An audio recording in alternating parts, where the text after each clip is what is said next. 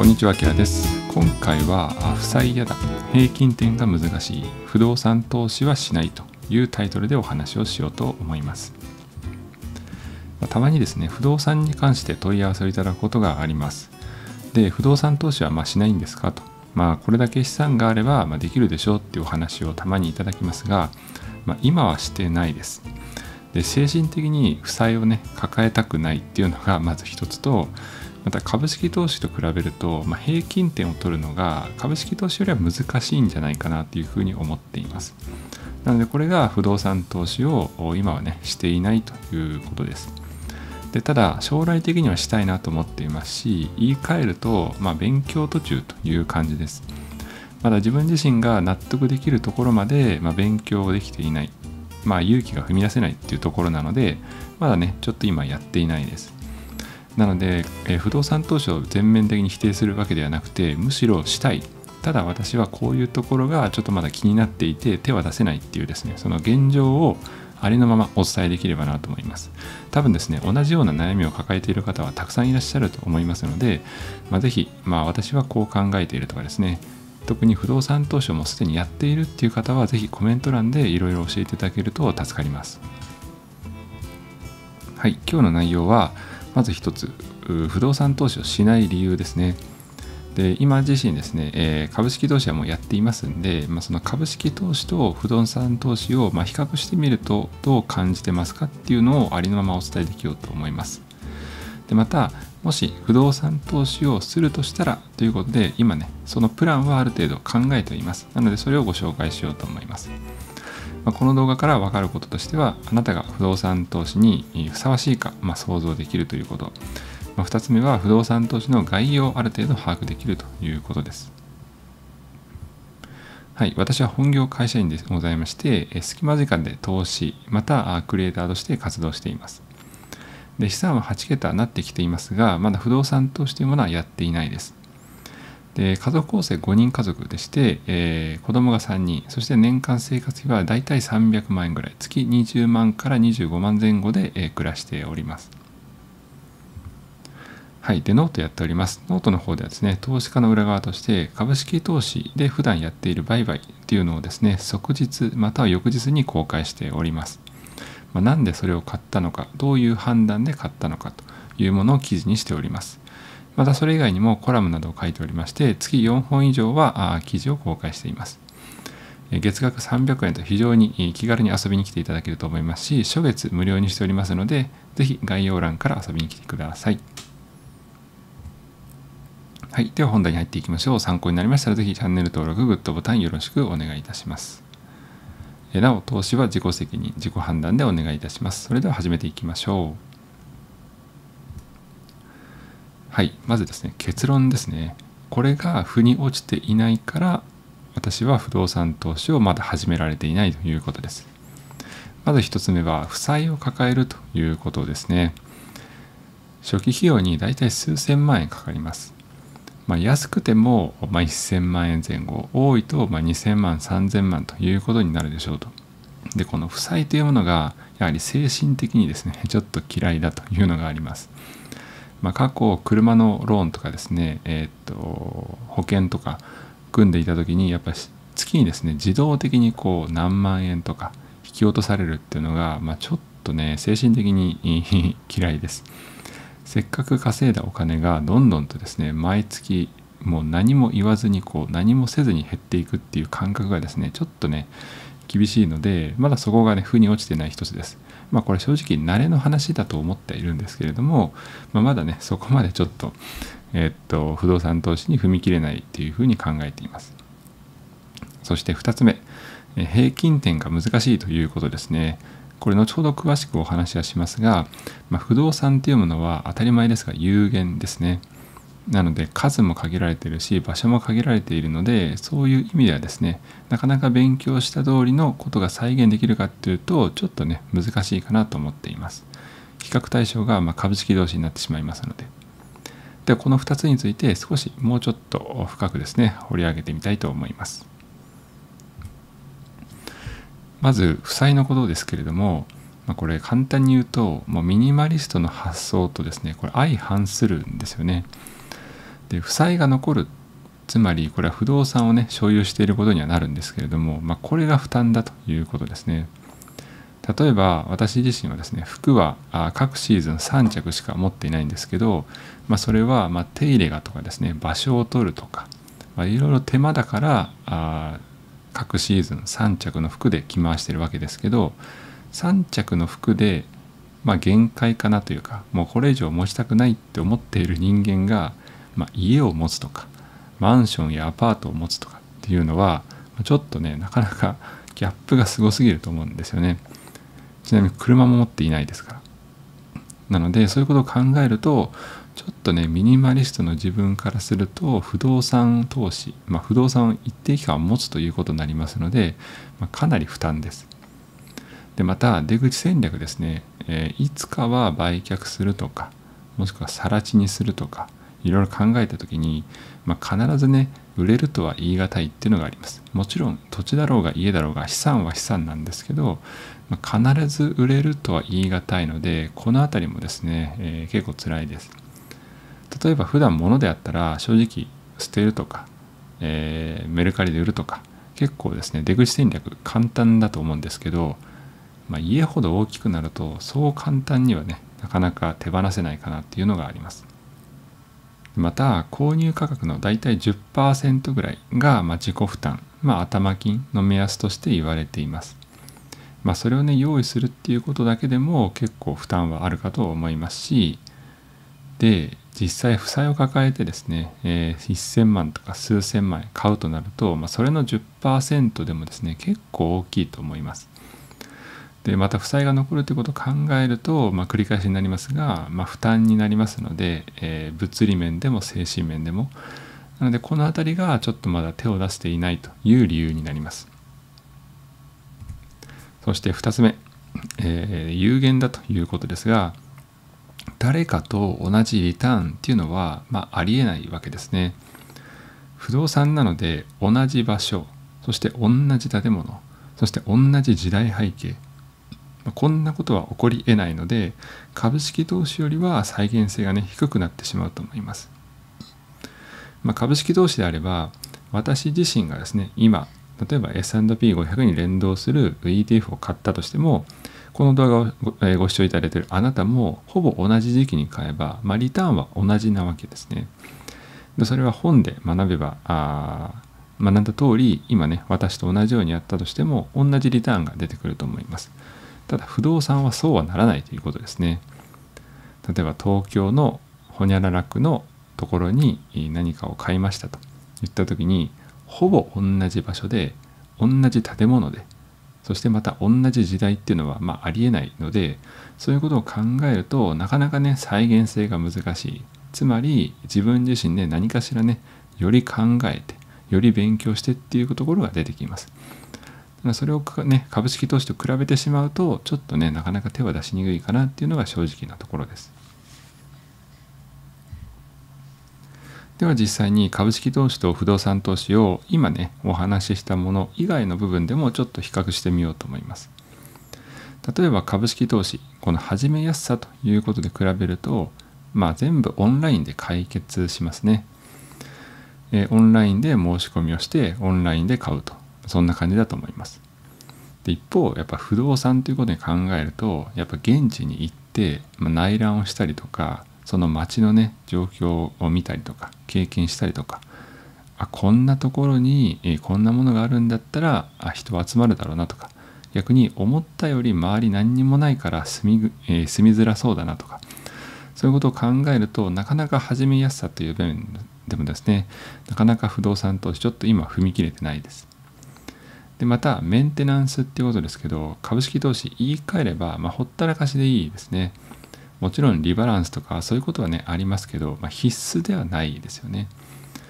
で一方不動産の方は、まあ、必ずどこかしらは必要になってきます。何かが壊れちゃうとか。で経年劣化っていうものがありますので、まあ、それを考えるとメンテナンスの面でもですね株式投資、ま、どうしてもね楽に感じてしまいます。でまたリスクヘッジっていうことですけど、まあ、一つの面で言うと分散投資という分ですかね株式であれば、まあ、ETF とか投資信託をすることで手軽に分散をすることができるんですけどまあ、一方不動産ということを考えると、まあ、複数のね物件を持つとかっていうことにどうしてもなってしまいますんでそういうことを考えるとちょっとリスクヘッジという面でもちょっとね株式投資が楽かなというふうに感じています。まあ、ただとはいえですね、え不動産投資できることはあるんじゃないかなというふうに思っています。もちろん今ね私が話しているのは初級者レベルの話だと思いますんで不動産投資をま未経験、え初心者という面でもし不動産投資を始めるとしたらこういうところから始めていきたいなっていうのをご紹介しようと思います。まあ、結論を言うと中古一戸建てですね。まあ、左側に不動産投資の悩ましい点っていうのを挙げています。でそれをどうやってカバーしていくかつまり悩ましい点というのは不安材料ということになります。その不安材料をどうやってね克服することができるかっていうのを簡単にまとめています。まず初期費用が高額というところに関しては、まあ、中古一戸建てであれば初期費用が少なめです。まあ、調べてみると分かるんですけど1000万円未満もあります。で築20年30年で超えてくると、まあ、場所によりけりですけれども、えー、1000万円前後で買うことができたりします。なんでこうやって初期費用をね少なくすることによって初期費用が高額という部分はカバーできるかなと思っています。であとは含み損ですね出口戦略の時に、まあ、できればね買った価格より高く売りたいですけど、まあ、全部が全部ねそういうことは難しいと思います。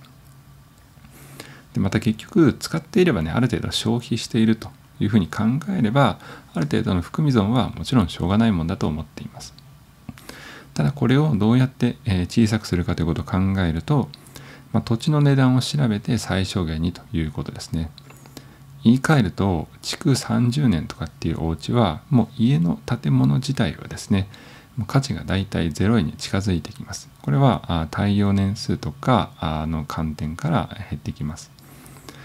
なのでその土地の価格を調べてその土地の価格とほぼ同じぐらいの家を買えばですね、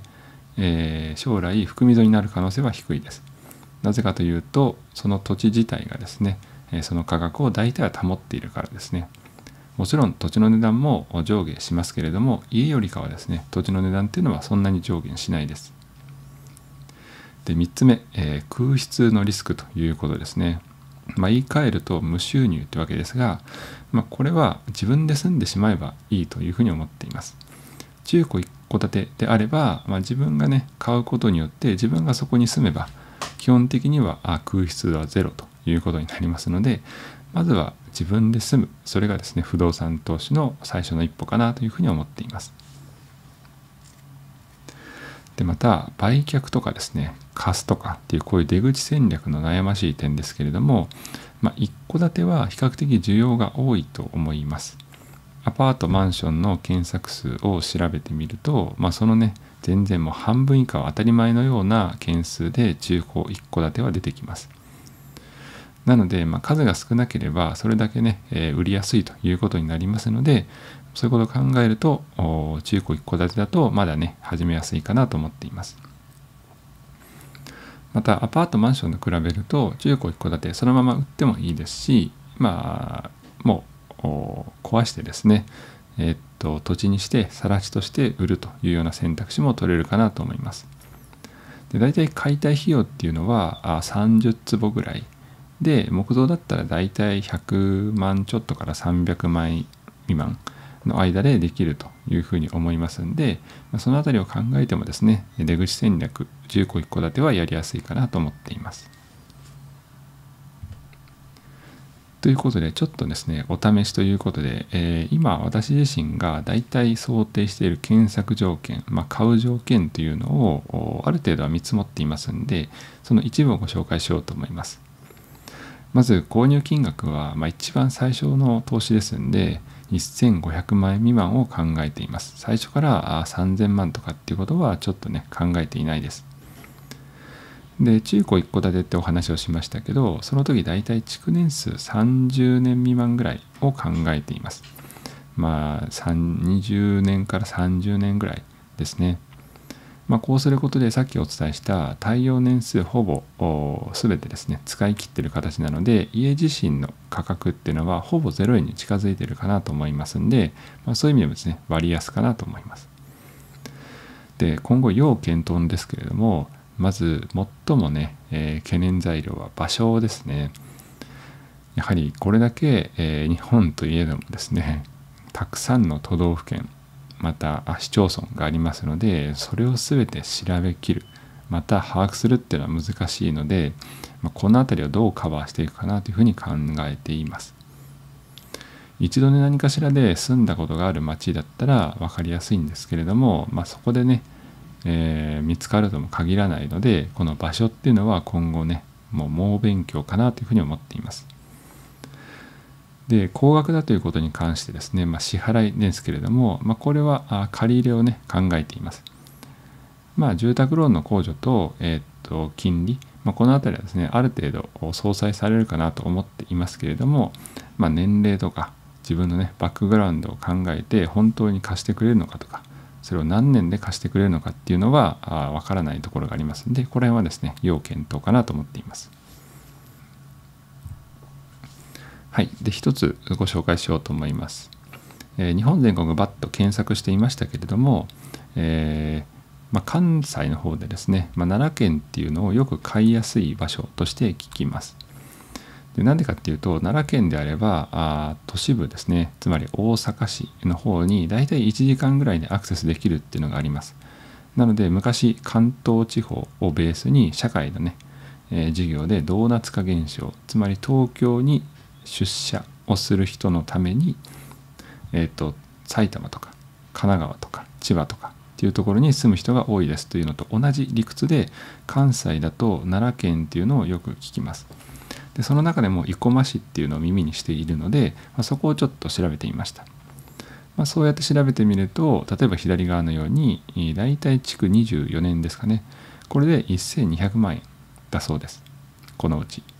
そして一方右側ですね。土地の価格。これ同じ生駒市の同じような場所。で調べてみるとこの土地だけで土地だけで1180万ということです。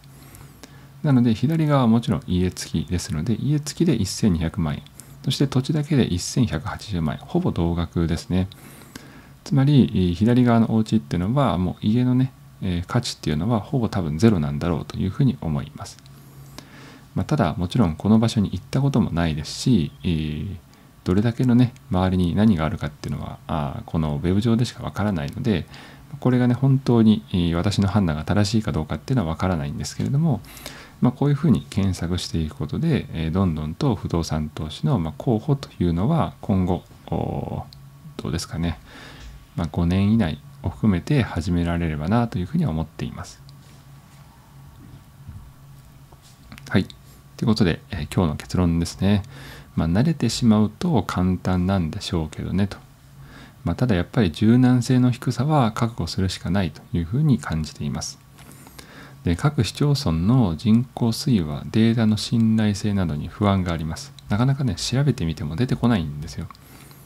まあ、ただし、まあ、土地っていうのはですね結局資産になることは理解できていますんで土地だけになったとしてもある程度のね金額で売ることはできると思っています。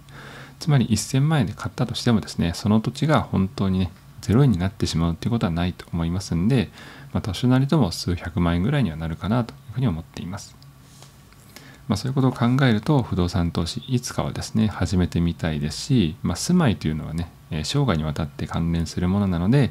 まあ、この辺りの知識というものは少しずつ増やしていきたいなというふうに思っています。